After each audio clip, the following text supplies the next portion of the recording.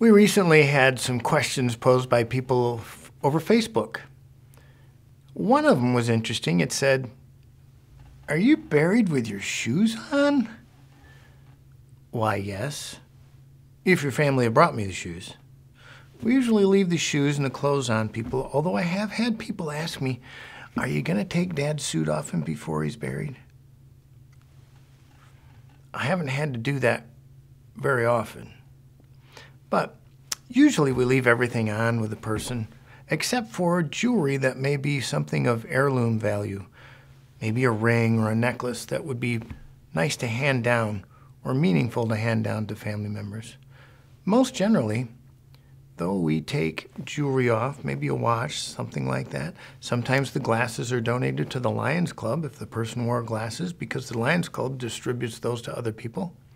But most everything else is, is left in the casket with the person and buried or cremated with them.